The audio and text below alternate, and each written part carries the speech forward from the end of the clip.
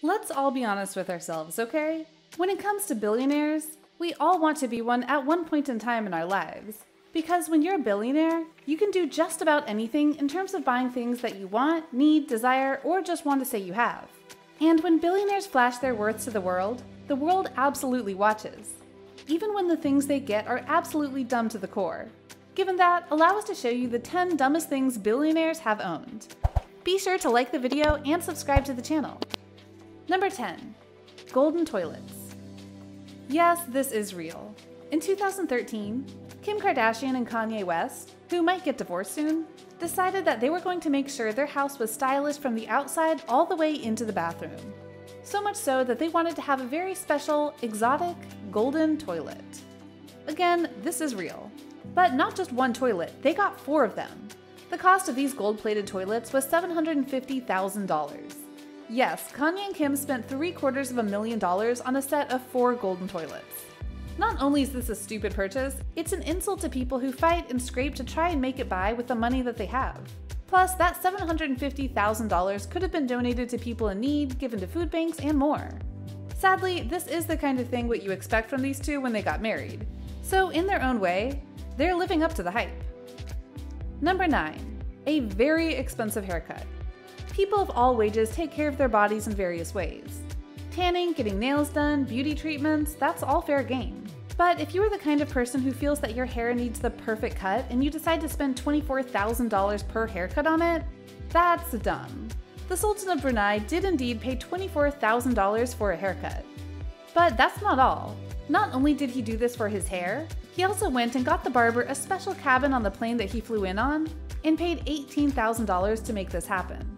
Why would he do this?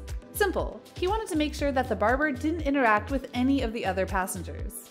Just as sad, the Sultan does this regularly. According to an attendant to the barber, the Sultan flies the barber first class to Brunei so that his hair can be cut every three to four weeks. Guess this leader demands perfection for his hair, no matter the cost. Number 8. Golden Jet. If you're rich, and we mean really rich, you're going to get yourself a jet. It's just natural, and it's a cool thing to have if you can afford it. But for one man, he decided that just having a regular private jet wasn't enough.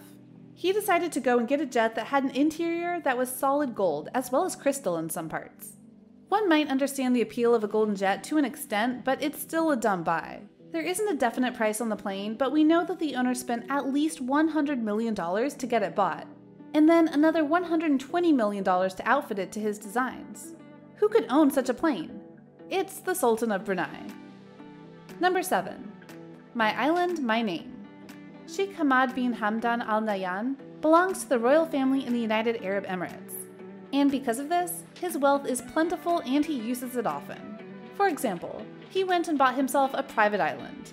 But that's not the dumb purchase, not yet. You see, he wanted to make sure that people knew that the island was his and his alone. So what did he do? He spent untold millions of dollars to literally write his name on the island. This imprint was miles wide and long, and you had to go up in a plane to see Hamad in full glory. It was so big and deep that waterways were literally formed by this. But the biggest kicker? Despite all the time and money put into it, the name had to be erased per the government's orders. So it was costly to make and it was all taken down later. Dumb. Number 6. The Antilia. For Mukesh Ambani, an Indian business tycoon who is worth billions, he didn't just buy a big house or a big mansion. He bought the biggest residential property in the world. It's known as Antilia, and it is in India, towering over everything else around it. It cost around $2 billion and has 27 floors. Currently, the Ambani family employs close to 600 staff members to take care of the house. Inside the property, there are close to 3 to 4 floors dedicated to housing the over 50 luxury car collections of the Ambanis. If you're curious, he doesn't live there with just the attendants. He does have his wife and three kids there with him. The house is also equipped with a ballroom, three helipads, gardens, a temple, guest suites, a health level, and a home theater that seats 50. This is a dumb buy because no one needs that big of a house. And sure enough, the neighboring people of India hate this place and protest against it regularly. Number 5. Diamond Mercedes Benz. Meet Saudi Prince Al Walid, who purchased a Mercedes Benz completely made out of diamonds. Or more accurately, diamond encrusted. After he got it, there was a rumor going around that he was actually charging $1,000 to anyone who wanted to just touch the car. Thankfully, that wasn't true, but we wouldn't have put it past him.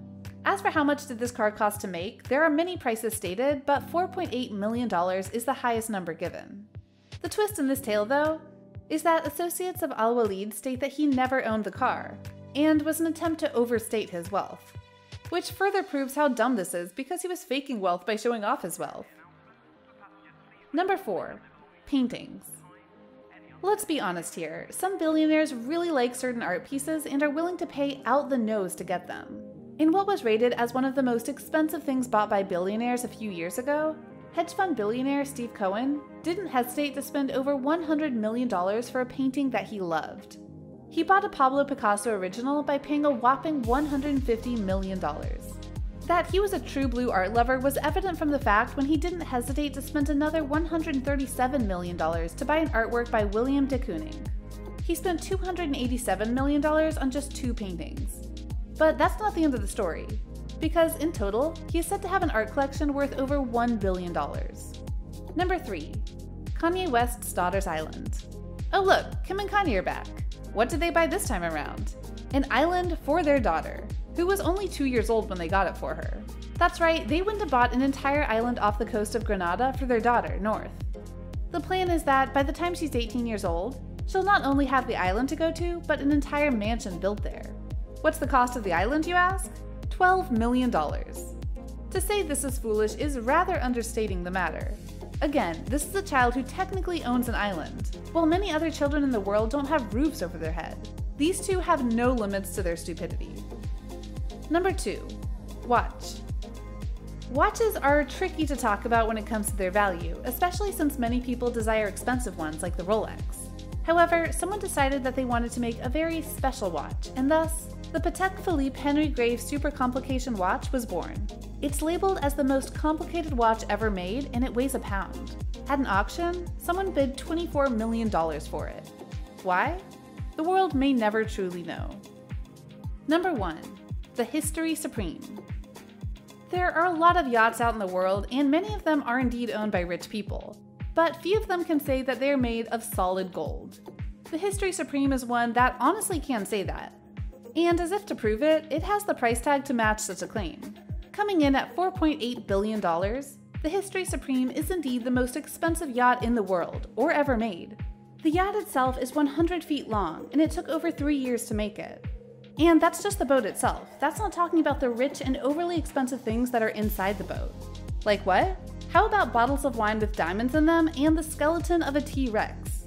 The real reason it's dumb is that should said yacht owner get bored of the yacht, it won't be the easiest thing to sell due to the price. So what do you think? What do you think of this look at the various things that billionaires have bought for themselves and are infinitely dumb? Can you believe that these people wasted that much money on these things? Or can you believe it and feel bad that excessive people like this exist in the world? Would you even think of buying things like this if you were that rich? Let us know in the comments below, be sure to subscribe, and we'll see you next time on the channel.